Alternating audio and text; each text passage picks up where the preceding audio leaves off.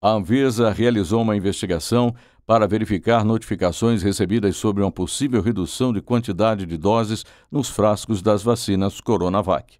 A conclusão da investigação é que não houve falha técnica no invase na vacina e que os frascos da vacina contêm 10 doses, conforme previsto. Ainda de acordo com a investigação, o problema dos frascos que rendem menos de 10 doses está relacionado a erros de extração do frasco multidose, principalmente pelo uso de seringas inadequadas Segundo a avaliação técnica da Anvisa, o uso de seringas de 3 mililitros não seria o mais adequado para a extração das vacinas, que possuem doses de 0,5 mililitro. O relatório aponta ainda que o mais adequado para a retirada e aplicação das doses são as seringas de 1 mililitro, que têm uma maior precisão para cada dose.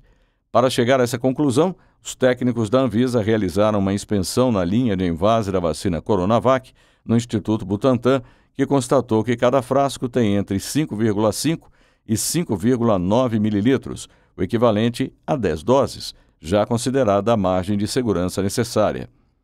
Também foram realizados testes de extração e a avaliação de queixas relativas a seringas e agulhas, constantes do banco de dados da agência. Da Rede Nacional de Rádio em Brasília, Gilson Santa Fé.